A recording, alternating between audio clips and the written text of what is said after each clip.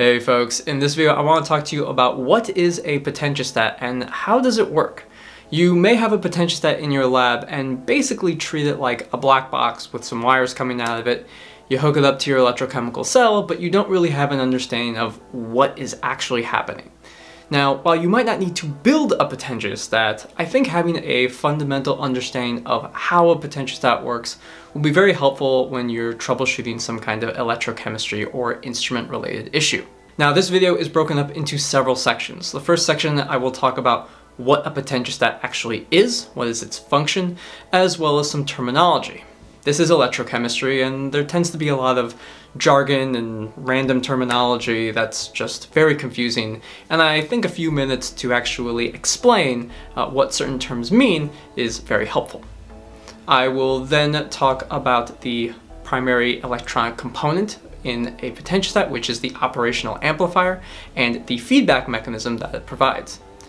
Once we have an understanding of what an operational amplifier is and how it works, I will then go over a simplified potentiostat circuit, identifying all the components within the circuit as well as walking you through what happens when you actually apply a potential and what's happening in your electrochemical cell.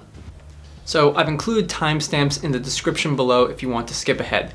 Additionally, we have a full article on what a potentiostat is and how it works on the Pine Research website in our knowledge base. Link to that is also in the description below. Okay, so let's start with what is a potentiostat. So actually, the word potentiostat and its meaning is actually within its name.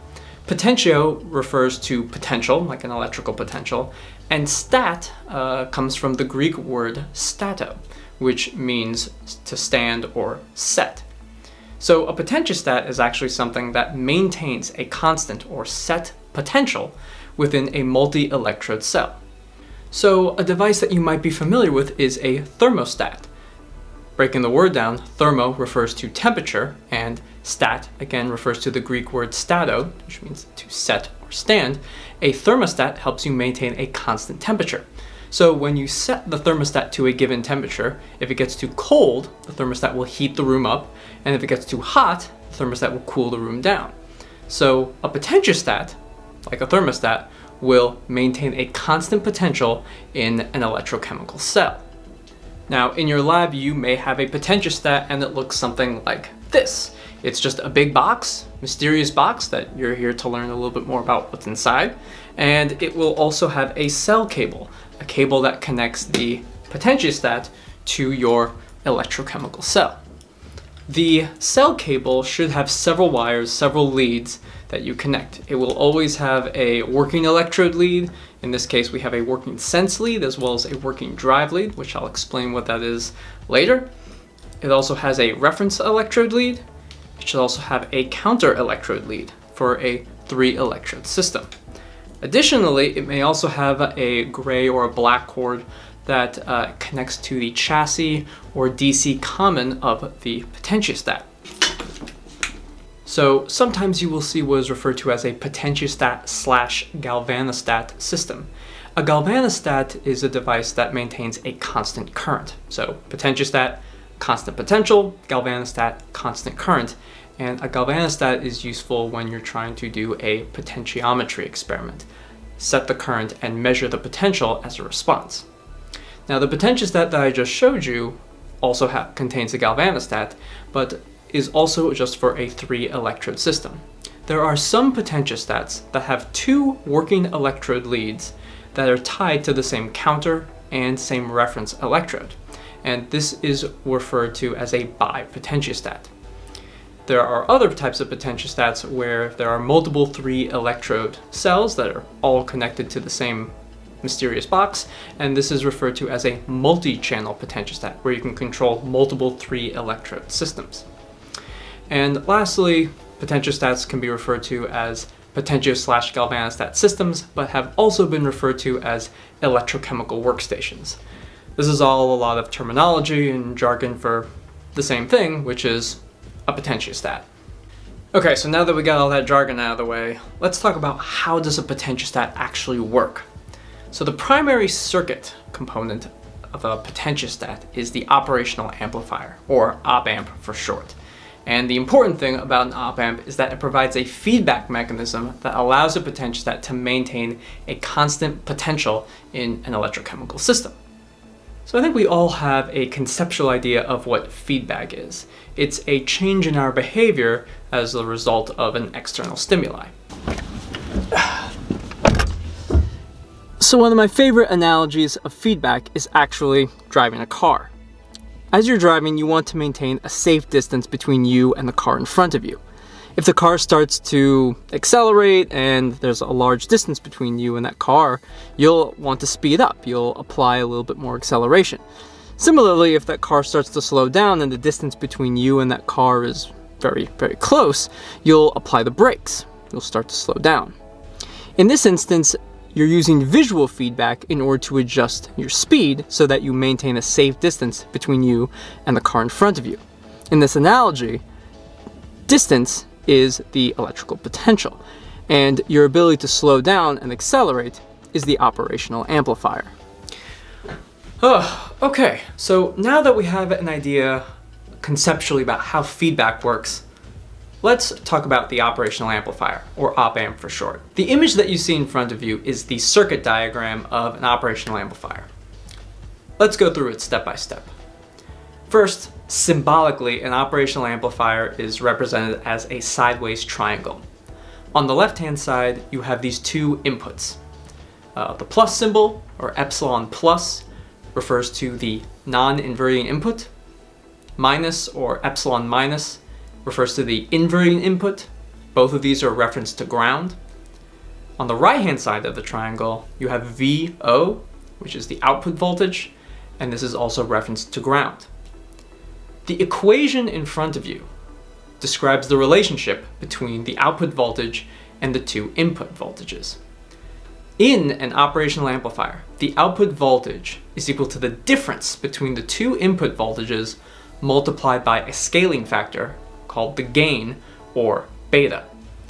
Beta can have a very large value. It can be 10 to the 5, 10 to the 6th.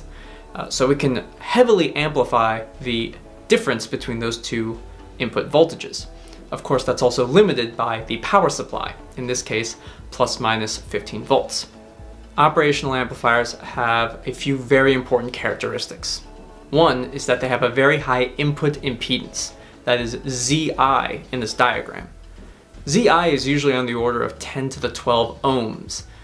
Very large resistance. So what this means is that practically no current will flow into an operational amplifier. It only accepts an input voltage. Similarly, the output impedance, ZO, is very low. It's between 1 and 10 ohms. Operational amplifiers also have a large bandwidth. That means that it can accept input and output a wide range of frequencies. Lastly, operational amplifiers are very small. They have a very small footprint. They're less than one square centimeter. So very small, very cute. Schematically, an operational amplifier will look more like this. This is the simplified circuit diagram of an operational amplifier. Things like beta, the input resistance, the output resistance, the power supplies, those are all assumed. The only things that re are really important are the input voltages and the output voltage.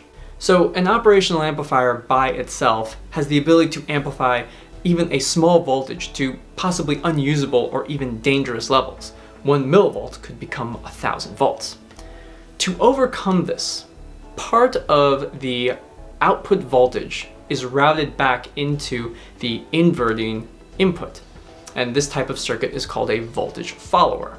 And in the voltage follower, part of the output voltage is routed back into the inverting input. And this creates what is called a feedback loop. When an operational amplifier utilizes feedback, the inverting and the non-inverting inputs are forced to equal each other. And in this circuit diagram, you can see that the output voltage is also equal to the inverting input. And in this diagram as well, the input voltage is equal to the non-inverting input. So if we use the transitive property of math, if the inverting input is equal to the output voltage and the uh, in non-inverting input is equal to the inverting input and the non-inverting input is equal to the input voltage, then the input voltage is equal to the output voltage, hence the name a voltage follower. And this is an example of how an operational amplifier utilizes feedback. Now that we understand how an operational amplifier works and how it utilizes feedback, we're now at the stage where we can actually describe how a potentiostat works. The following is a simplified potentiostat circuit diagram. Let's go through all the parts. On the left-hand side, you have the potentiostatic set point. This is where you, as the user, set the potential. So whether or not you're doing a triangular potential waveform for cyclic voltammetry, or a step potential, or a pulse sequence, it's all coming from the potentiostatic set point. The voltage from the potentiostatic set point goes into the inverting input in a high gain op amp. The output voltage from the high gain op amp goes into the counter electrode lead. So if you remember from earlier, we have our cell cable. The green lead, which is our counter electrode, is actually where the output to that high gain op amp goes. Below that, we have the reference and the working sense line. So this is the reference electrode lead, and this is the working sense lead. Those two leads are connected to the inverting and non-inverting inputs on a low gain operational amplifier called the electrometer. This is also sometimes referred to as a true difference operational amplifier. The output from the electrometer goes into a voltmeter where we can measure the potential, but part of the output voltage is fed back into the non-inverting input in the high gain operational amplifier. In the lower right hand corner, we have the working drive lead, which is typically shorted with the working sense lead to your working electrode. This can be glassy carbon, platinum, gold, whatever conductive material you're interested in studying. And the working drive lead is then connected to a sense resistor called R work, which is then tied to ground. There is a voltmeter, EI, that measures the voltage across this sense resistor, R work. Let's walk through typical potentiostat operation. You have a three electrode cell and you want to apply plus one volt on your working electrode versus the reference electrode. So at the start of the experiment, you set the potential at the potentiostatic set point. This is a positive potential, probably plus one volt, but it's not versus the reference electrode. It's actually versus ground. The potentiostatic set point is always applied with respect to ground or the instrument ground. That positive potential goes into the inverting input of your high gain op amp. At this point, there's nothing going into the non-inverting input, so that signal actually gets amplified a lot. But that plus one volt will actually be inverted because it's going into the inverting input, and it comes out through the output voltage as a large negative potential to your counter electrode. And this should make sense. If you want a positive potential at your working electrode, your counter electrode needs to be negative. The two need to maintain charge balance. So you have this potential at your counter electrode and current now flows at the counter electrode. It flows into the reference electrode, the working sense electrode, and the working drive electrode. But remember, the reference electrode and the working sense electrode are actually connected to the inputs of a operational amplifier. And if you remember, the input impedance on an operational amplifier is very large. And so practically no current will flow into the operational amplifier, the electrometer. This means that the only viable path for current to flow in this system is to the working drive electrode. Now, as current flows through your electrochemical cell, you will get a ohmic drop or a voltage drop.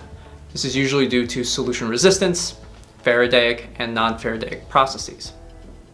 This means that the potential at the reference electrode and the working sense electrode will change. Now, if you're unaware, reference electrodes by design are supposed to maintain a constant or stable potential. Let me show you. Let's get some, some goggles on, need to get some gloves.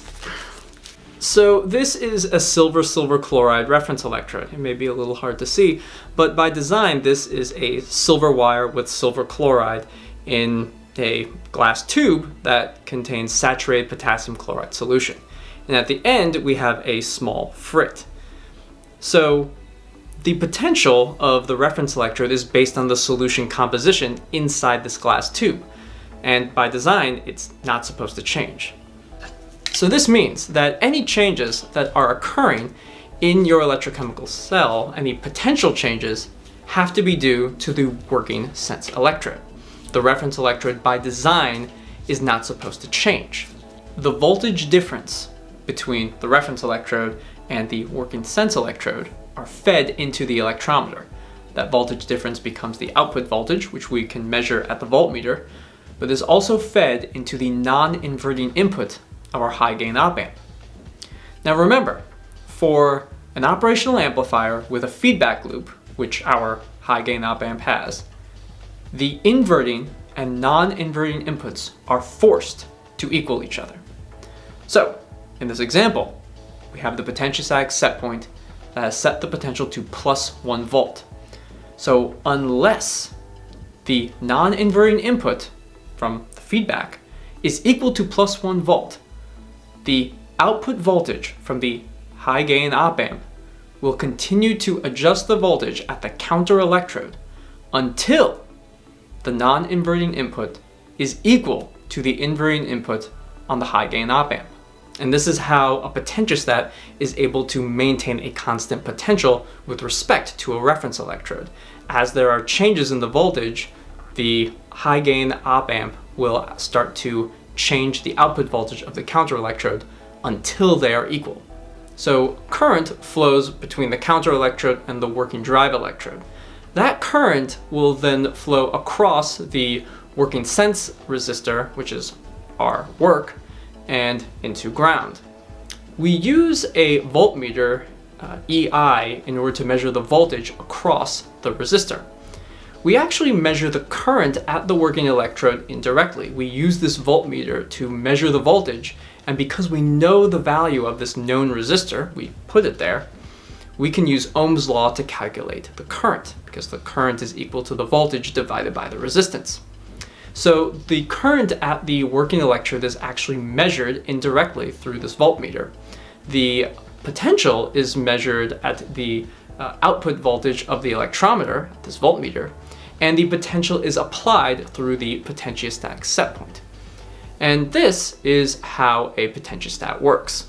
Hey folks, I hope you enjoyed this video. Please leave a like and don't forget to subscribe. Also, leave a comment if you have any questions. Feel free to reach out to us on our website. We're more than happy to help. And I hope you enjoyed this video.